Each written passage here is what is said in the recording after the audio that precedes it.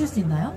제가 오늘 완전 키리를 신고 와가지고 여기 그냥 평지도 힘들어서 저는 사실 나 좀? 많이 불안해서 아니 잡는 거가 문제가 아닐 것 같아요. 제가 이렇게 오, 오, 오, 어, 저, 뭐, 죄송해요. 지금 아이스 링크장을 걷는 오케이, 느낌이라. 그럼 저 우산 폈으니까 예. 저랑도 인사 먼저 드리고 오겠습니다. 예, 저는 그러니까 잠깐. 아니면 언니 나를 잡고 이걸 같이 쓰고 갈래? 그것도. 그게 힘들 것 그럼 같은데. 여기 계세요. 예, 예. 저 빨리 갔다 올게요.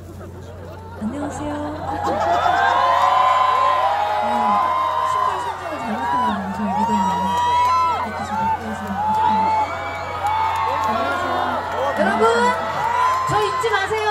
저 있어요 여기. 오, 되게 네. 예쁘게 나온다 언니. 근데. 어 그래요? 어 뭐가 나와요 지금? 지금 뒤, 뒤에 너무 예쁘게 여기 보셔야죠. 어, 어, 어. 여기 보셔야죠. 아, 지금 이렇게 오는데 기다려주셔서 너무 감사하고 이제 마. 마지막 곡을 들려드려야 되니까 파리파리라는 노래를 준비했거든요. 어! 감동이 제일 큰데? 그, 네. 그러면 여기서 제가 그냥 시범 보일까요? 아 저는 여기서 하고요. 네 네 유니크한 네, 얼굴로. 많이 외롭긴 하지만. 네, 네, 그리고 네. 제가 빨리 돌아가겠습니다. 네, 예. 여러분, 파리파리는 여러분들이 도와주셔야 할 부분이 세 군데나 있답니다. 여러분들 같이 해주실 수 있나요? 일단 가장 쉬운 첫 번째 거부터 해볼게요. 지금 되게 그 네. 중계방송 같네요.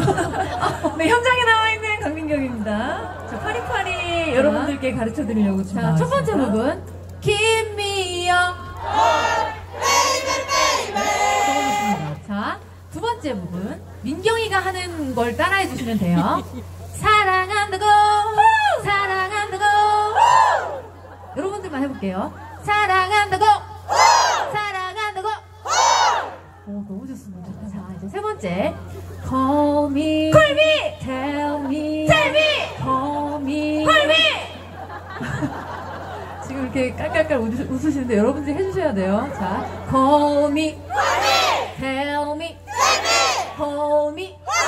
어, 연습하셨어요 미리? 어떻게 이렇게 딱딱 맞지? 그러니까. 어, 너무 감사합니다. 이렇게 해서 소리를 질러주시면 훨씬 더 파리파리를 신나게 즐길 수 있지 않을까. 그리고 여러분 이 곡 끝나고 뭐 곡이 좀 더 더 듣고 싶다거나 뭐 그러면 뭐 그런 거 있잖아요. 그죠?